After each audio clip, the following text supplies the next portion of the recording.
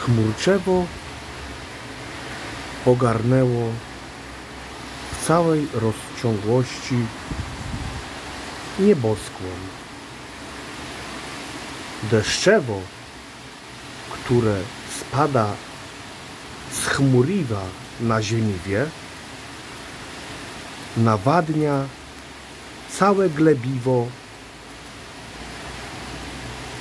potężną dawką wodziwia.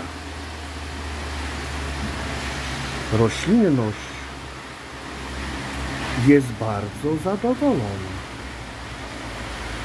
gdyż spowoduje to, iż rozkwit lokalnej fauny i flory wystrzeli w niesamowitym tempiwie. Zwierzęta będą miały obfitość pokarmu. Wszelakie życie wróci do symbiozy. Pioruniwo uderzające w ziemiwie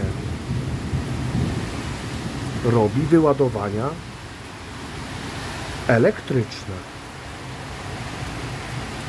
Człowiek, który przed chwilą był na łonie Naturiwa, udał się rychło do Domiwa. Przyroda jest w rozkwicie.